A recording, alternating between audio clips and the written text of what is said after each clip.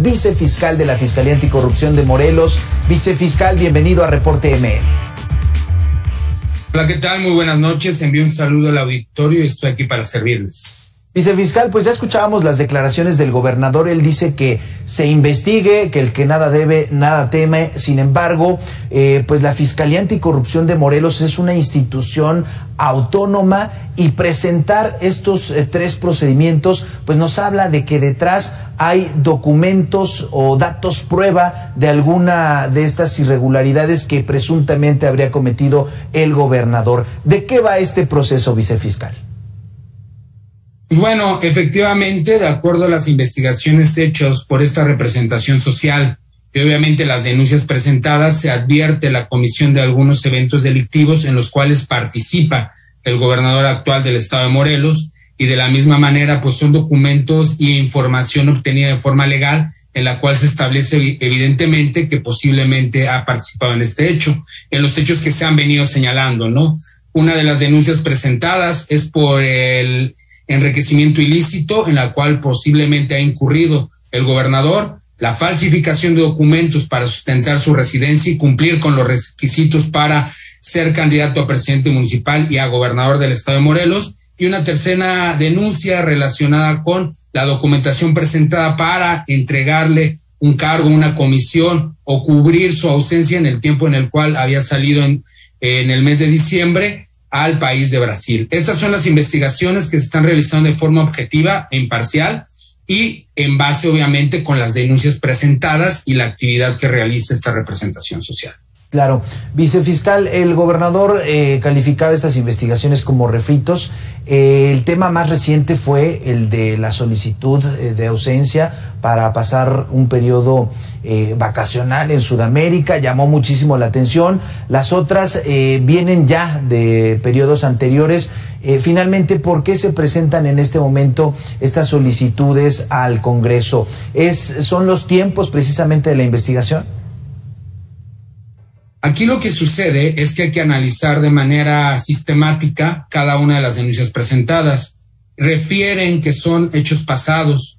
No obstante, es importante señalar que a nosotros nos denunciaron en el 2021 estos hechos por parte de Enrique Paredes, por cuanto hace a la, a la cuestión de la residencia. Es un tema que efectivamente se había investigado en anteriores procesos con distintas autoridades no obstante, aquí en la Fiscalía hasta el 2021 tuvimos conocimiento y se realizó la investigación. Aunado a ello, pues el delito evidentemente tiene un, plazo, una temporalidad, la cual no ha transcurrido.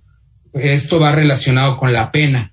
Es por ello que, pues, el delito no es un delito de pasado, sino es un delito relacionado con las denuncias presentadas, la actividad investigadora y ese y es las circunstancias en las cuales nos encontramos por cuanto hace el delito de enriquecimiento ilícito, pues este es un delito que continúa mientras el patrimonio del servidor público está aumentando y mientras ejerzca el cargo la comisión por ello, pues en el derecho penal no podemos hablar de, de actividad o de, o de, conductas muy pasadas o del pasado, sino hablamos de que se debe atender a la circunstancia legal bajo el principio de legalidad y la actividad investigadora que realizamos. Claro. Finalmente, vicefiscal, se presentan estos tres procedimientos ante el Congreso.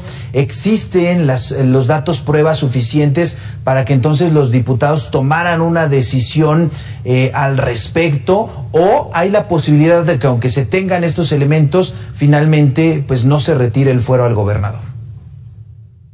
Aquí el tema realmente es que la investigación siempre surge, o sea, siempre está continuada, ¿no? Esto es que inclusive cuando él termine su encargo, sin necesidad de acudir a este juicio de procedencia, se podría solicitar la formulación de imputación.